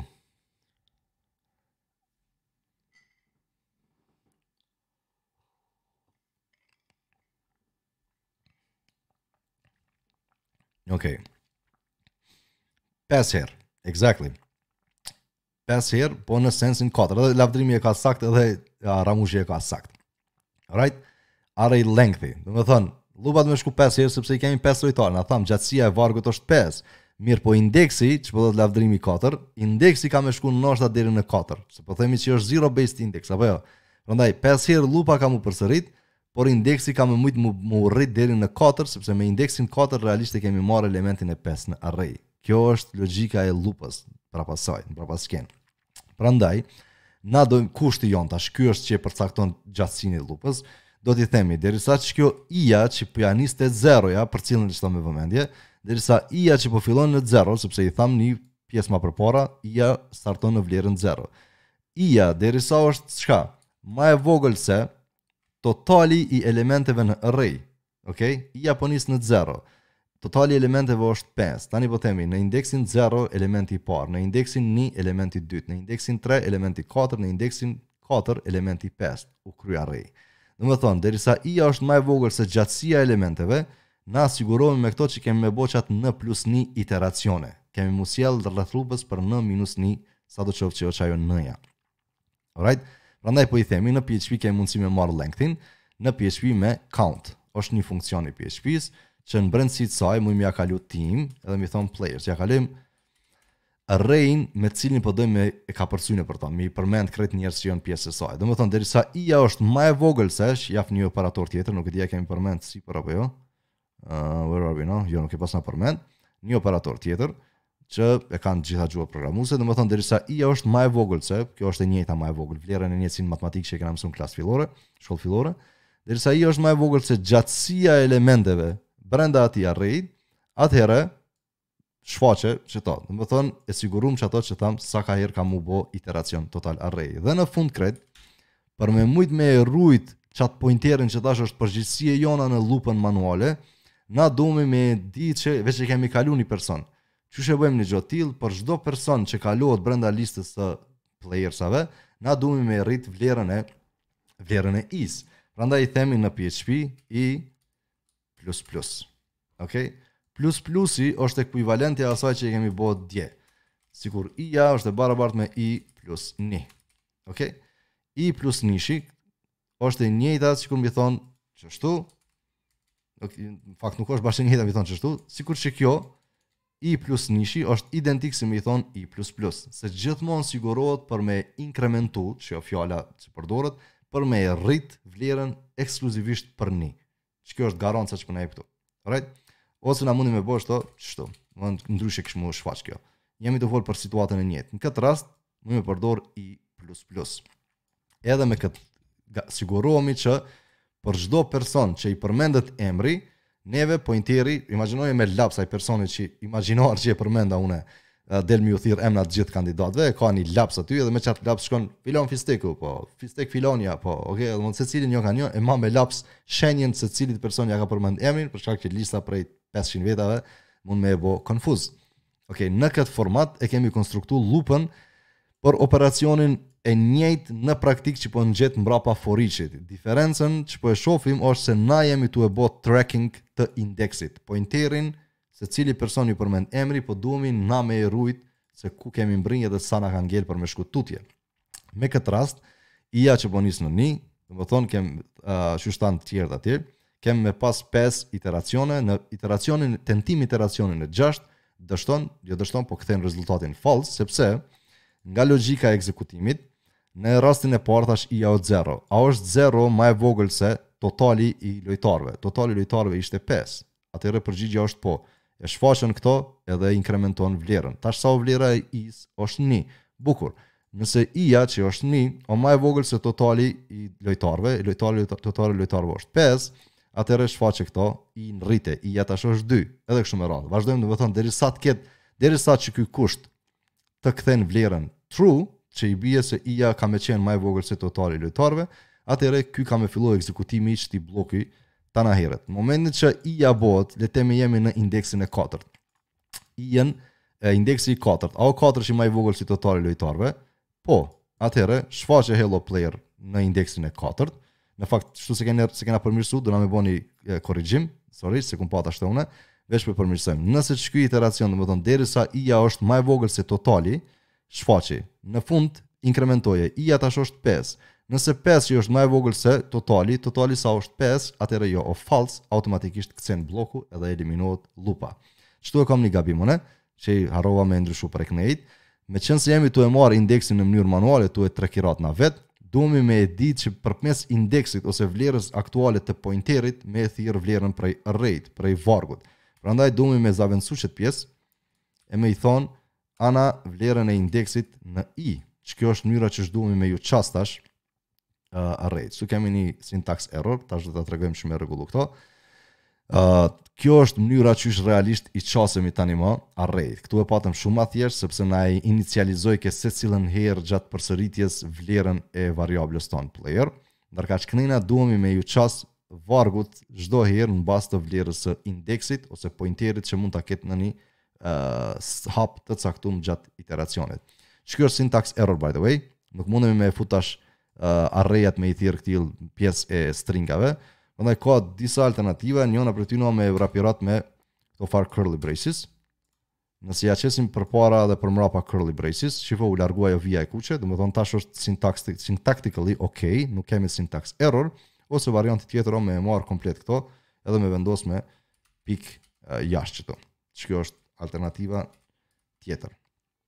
Cilado prej këtyne, është fajn, nëse e ki në string, munesh me e lanë qështu, edhe you're gonna be perfectly fine, veç që mos me harru që arrayat, nuk munesh me i përdor multiple sosh, domethonë kjo lidhja qëkjo na e shkakton telashen, se vetëm një është fajn, munesh me përdor, por kjo e bon problemin, prandaj mundemi me uh, vrapirat me curly braces, edhe automatikisht është një si variabël funksionon në rregull, compileri është në gjendje me ekstraktu vlerën uh, prej arrayt varësisht prej indeksit dhe pointerit në kohën kur po thirret qaj rresht.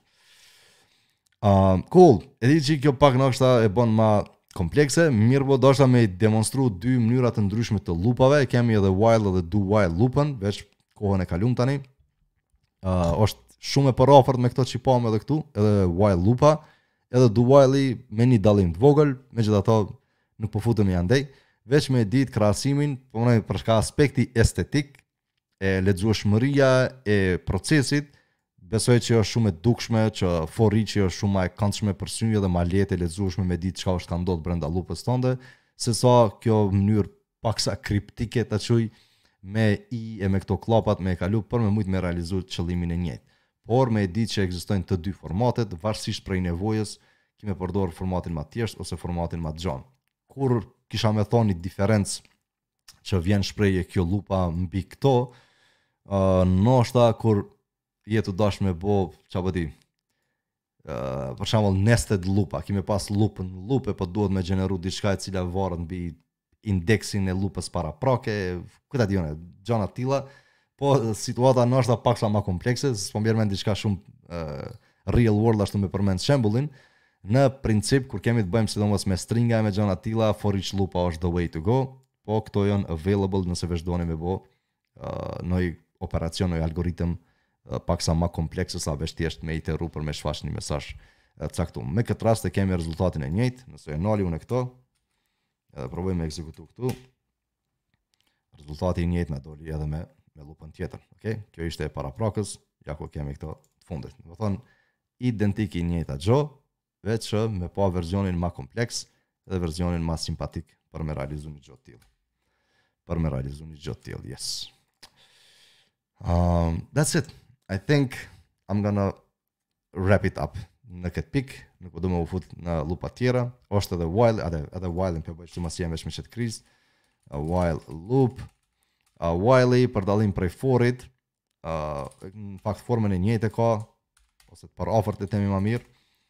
Ashtu i vjen kushti edhe pastaj bloku i ekzekutimit, nëse kisha me dashtë me e bo të njëjtën gjë me while, çdo rreshtin po e marrim. Okej, okay, qështu. Edhe tani në while gjithashtu përgjegjësia për me rujt indeksin na bjen neve, çka bën diferenca ku është, në fakt kushti brenda parentheses tek while-i është ma i shkurt Krejt që kjo që po na duhet neve, vjen kështu. Okej. Okay. I-ja inicializohet jashta while-it. Edhe në fund i-ja inkrementohet ose rritet brenda while-it. Qe, e njëjta gjo që kemi këtu, veç në një format pak ma tjetër këndej. Edhe while-i është gjithashtu një loop shumë e përdorshme, sidomos në WordPress, kush e përmendi atje, krejt ato shfaqjet e postimeve uh, nëpër blogin tond, zakonisht janë me while loop, sepse është lupa favorite e WordPress-it, në parim, edhe uh, çka kena bo në tri mënyra të ndryshme, i kemi demonstru lupat në PHP, së qysh mundemi me bo iteracion përmes vargut të elementeve në një array, përdorimin, po dje e thash dhe po e përsëris edhe njëherë për arsye të rikonfirmimit të qëndrimit tim, mendoj që një programer në fillet e para të programimit, në momentin që i klikën truni rreth arrejave, manipulimit me to, ndryshimit të vlerave, multiplikimit, ku ta di un, çkado qoftë që ka të bëjë me arrej, edhe me lupa, edhe vjen në pikën ku më nuk ka asnjë dilemë, po mundet me mshel syt edhe me shkru n'tastierë, është pika kur i i shpërthen i heket bllokazha, mendoj një programerit ambicioz për me e çar rrugën pastaj tutje sepse arrejat janë esencial në manipulim me t'dhana në programim edhe lupat janë miku i tyne i përafërt, i përafërt jo, po bashkudhëtari i tyne, këto dyja janë zakonisht tandem njana me tjetrën. Kur kini lup, doemos diku duhesh me pas një array. Patjetër, edhe anasjelltas. So that's it, është edhe do while-i, e mos ta komplikojmë më shumë me komplikacione, s'është pale çfarë komplikacioni, veç kushti ekzekutohet një herë deshte s'deshte, pa marr parasysh a po menoj Statementi ekzekutohet pa marrë parasysh kushti a është true ose jo, kjo është diferenca e vetme andej, po po zgjedhim mos me mos me u fut në to, sepse gati është më me thon e papërdorshme në ditët e sodit, ka raste të rralla kur një gjë e tillë duhet, ekziston, është aty just in case, po në princip shumë rrallë kam u ra me pa do while-in, in action. Um, yeah, I think that's it for today. Përsërisi edhe njëherë për linkun që ju kam dërgu dje. Let's see, a i kemi shtu GitHubin. Jazz Academy, qëtu, po yes. Qikjo është linku që ju kam dërgu dje. Uh, operators, qëtu i keni këto një kurs që e kam majt vitin 2015. Po po ju japi për referencë për me i pa llojet e ndryshme të operatorve, për llojet uh, përsëritje. Uh, nëse doni me bo, pa, Nëse doni me bo mas ligjëratave ose whatever, a lupa do t'kemi pas diku, let's see, let's see, let's see, arrays, control flowin, sa e përmendëm sot, edhe loops, there you go, fam. Qa.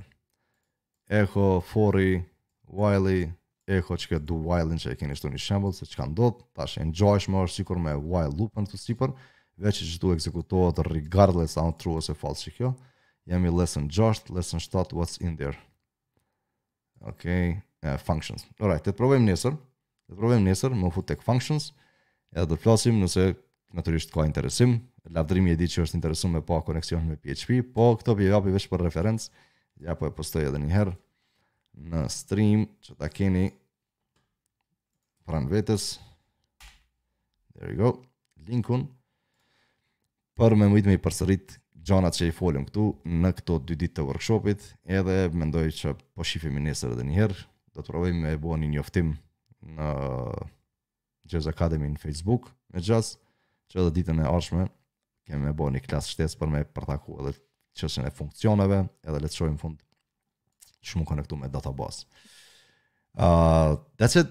Nëse nuk jeni subscribe në kanal, ju ftoj me bo subscribe Jazz Academy, Uh, na ndihmon neve me bo like natyrisht videon që ndjekni tash, nëse ju ka pëlqy, e ndihmon me ju shfaq edhe tjerëve algoritmi YouTube-it. It means a lot to us, meqenëse it's a favor, return of the favor in one way or the another për uh, shërbimin e kontributin që po përpiqemi me bë, prandaj ka rëndësi për ne me përkrahja ose zhurma që po bëhet rreth aktivitetit që po provojmë me ofru.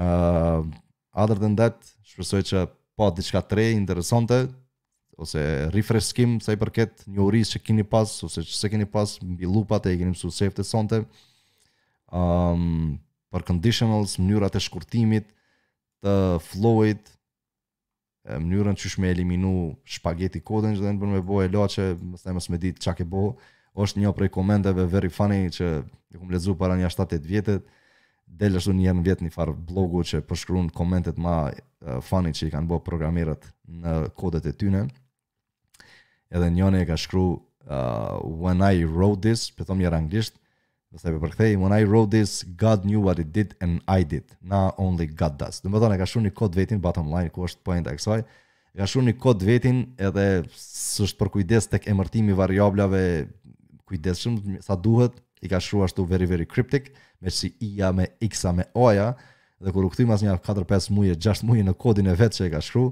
s'e ka pas haberin qa u kon qa, qa bën qaj kod cilin vet e ka shkru domethonë ka rëndësi me i emërtu gjanat kapshëm, të kuptushëm, që edhe nëse vjen mas nja 4-5 muje në kodin tënd, me dit what the hell is going on there, që mos me t'u dokë sikur kodin e ka shkru dikush tjetër.